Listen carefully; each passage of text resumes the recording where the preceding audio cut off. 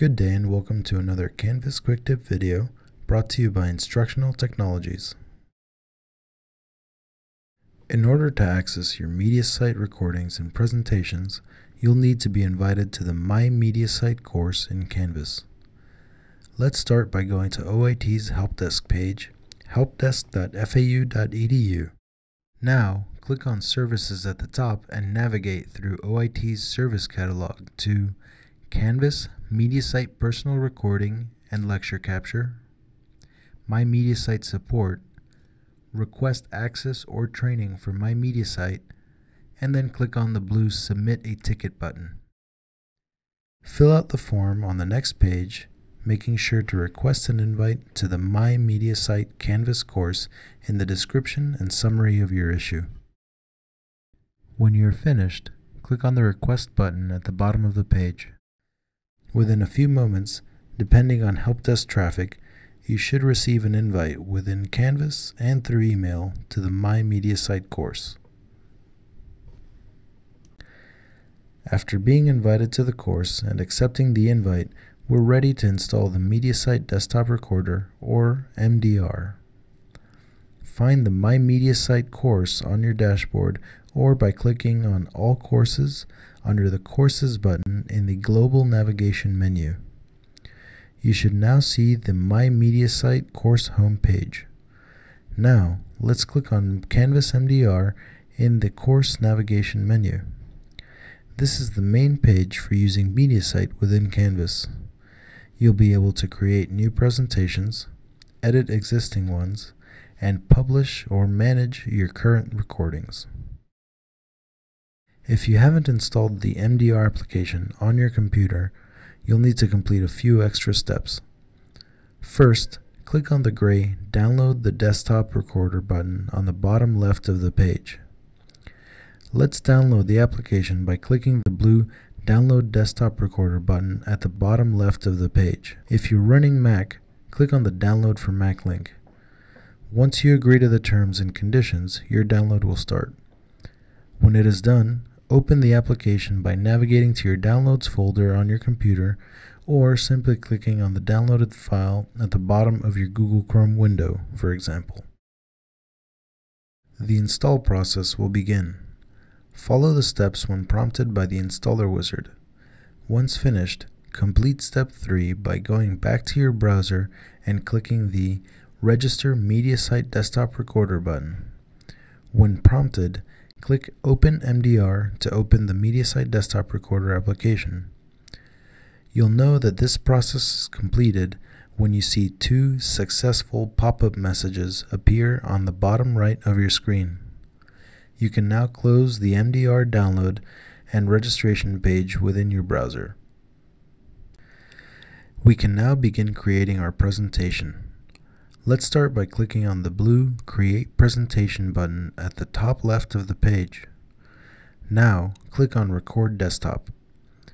Give your project a name and a short description and then click on the blue Launch Desktop Recorder button at the bottom right of the pop-up window. In a few moments, you'll be prompted once again to open mdr.exe. Click the Open mdr.exe button to launch the recording application. Now, let's set up our recording. In the MDR window, click on Record. Give your recording a name and then click on the type of recording that you would like to make.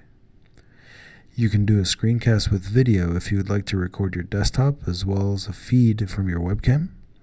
You can do a screencast with audio if you would prefer to only record your desktop along with audio from your computer's microphone you can also do a slideshow with video, which optimizes the video for viewing slideshows and documents from your computer and record a video feed from your webcam along with it.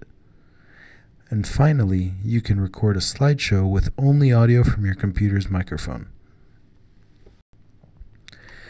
It is important to note that recording video along with a screencast creates bigger files that take up more space than using slideshows. If you will only be showing a set of documents or a PowerPoint presentation on your screen, it is recommended that you create a slideshow with video and or audio. If you have a webcam, click on the slideshow plus video option and then click on the blue next button. Otherwise, click on slideshow plus audio. If you don't see your image appearing in the window, click the drop down under camera input and select your webcam. Next, make sure that your voice is being heard. Say a few things and make sure that the audio meter is reacting to your sounds. Once we're set up, click the blue Next button. You'll notice a very small window has appeared. This is the MDR selection dialog. Here you can select what you would like to record. Go ahead and open your slideshow or set of documents and place them somewhere on your screen. You can make them full screen or have them take up a small part of your screen. For our sake, let's capture a region of our screen. Click on the drop-down next to Region in the MDR selection dialog, and then click on Capture 16 by 9 region. You can now select a portion of your screen that you would like to record. Select the region where you will be displaying your documents by clicking and dragging your mouse over the area. You can reposition or resize this box by using the arrows or the drag to reposition button in the middle of the red square on your screen. Once you are done, click the green checkmark button in the MDR selection dialog. Notice the MDR preview window that has appeared, showing your webcam and audio feeds. You can reposition this and use it to pause or finish your recording. When you're ready to record, click on the red Record button in the bigger MDR window. A countdown will initiate and your recording will begin right afterwards. You should now be recording. Click through your slideshow or switch documents as necessary, and when you're finished with the recording, click the Finish button in the MDR preview window. Your recording will be automatically uploaded to the MediaSite servers, and when it is finished, you'll get a pop up message to notify you. Do not log out or turn off your computer until you see that your recording has been uploaded successfully. Let's go back to our MDR page in Canvas. Go back to your web browser and refresh the MDR page. You should see your new recording in this area. Click on it to open and preview it. If it was a lengthy recording, chances are that MediaSite is still processing your video presentation. This may take a while depending on MediaSite's traffic, so feel free to work on something else while periodically coming back to this window and refreshing it. If you think you need to make any edits to the video or slides, you can click the Edit Video or Edit Slides button. These buttons bring up the video editor windows that can be used to trim or cut your video. For now, let's just trim the beginning of our video so that it starts when we're completely ready and beginning to talk. Click the Edit Video button. Here you'll see your presentation laid out along a timeline. Notice the white arrows on the left and right of the timeline. These are the start and end points of your presentation. Click and drag these arrows to change the start and end times. You can preview your changes by clicking the rewind button to go to the beginning of your presentation and then clicking the play button to play your video. You can use the spacebar to stop playing your video or continue playing it. Once you're finished, click on the Commit button at the top of the screen. You can commit these edits to your current presentation or create a new presentation with your finalized video. If you had a very lengthy recording that covers multiple modules or lessons, for example, you could trim this video to a length that covers the first section and commit to a new presentation that is appropriately titled. For now, let's click Commit to New and title this presentation Lesson 1 Edited. Click the Commit button when you're done. Close the editor window and refresh the MDR page in your browser. You should now see your newly created and edited presentation. Click on it. Now that the video is done, we're ready to publish it. Click on the Publish tab in the pop-up window.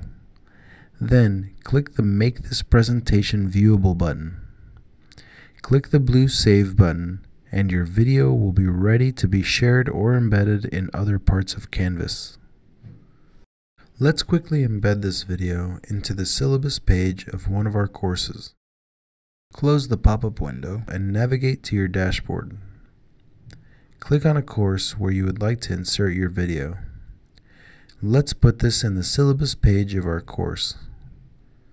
Click on the syllabus item in your course navigation menu and then click the gray Edit button at the top right.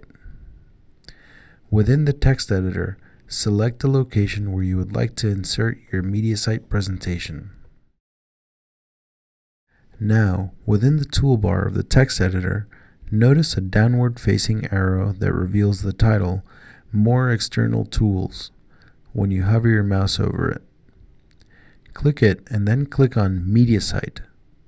A pop-up should appear asking you to add MediaSite content.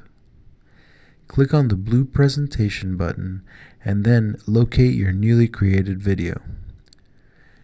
Click on the blue embed button to the right of the video and then click player only. Click on the blue update syllabus button to view your syllabus page. You and your students can now use the newly embedded MediaSite player to view your embedded presentation.